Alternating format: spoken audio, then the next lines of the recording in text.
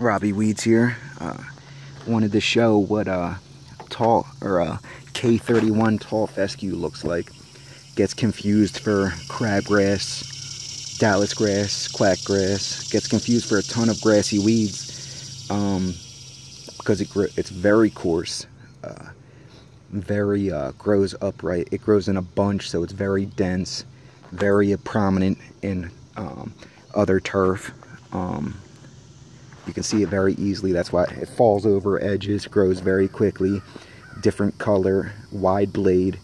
Just very many, many negative characteristics. But uh, crazy enough, this was um, used uh, very extensively as a seed, K31, because it doesn't get disease. A lot of times, a grass stand will be wiped out, and all you have is a K31 tall fescue left because it doesn't get disease uh, pests don't eat it. And that's why it was used uh, to seed um, years ago, before my time, um, until better cultivars of tall fescue came out. Now we got turf type tall fescues, which very, very good. Um, um very similar to uh, Kentucky bluegrass in color and uh, density, but without the limitations of needing a ton of fertilizer and susceptible to disease and insect. But this K31, um, some people uh, call it a pest, other people, you know, have their entire yard like this. But uh, the issue is because it is a fescue,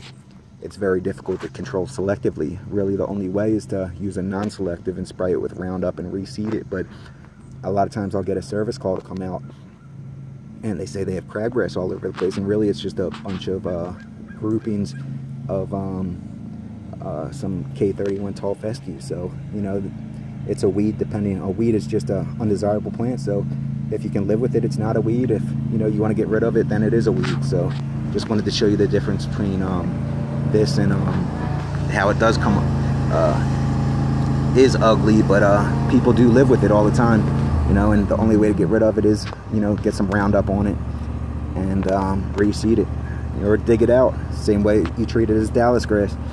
But uh, a lot of people do end up uh, living with it just because it is green and uh, it isn't as coarse and isn't as ugly as crabgrass, quackgrass, Dallisgrass. So yeah, that's um, the original tall fescue, K31 tall fescue.